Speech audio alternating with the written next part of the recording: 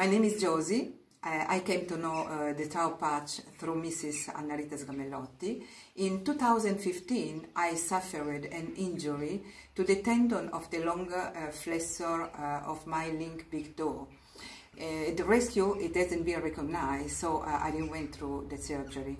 Mrs. Sgamellotti um, put the Tau patch on different parts of my body for about two months. I didn't use painkillers and, um, and I could walk uh, easily quite soon. Um, I find uh, Mrs. Sgamellotti uh, very professional and qualified. And uh, I follow um, Dr. Fabio Fontana online through videos, conferences, and uh, I would say that uh, he satisfies my curiosity on various fields with um, very with clarity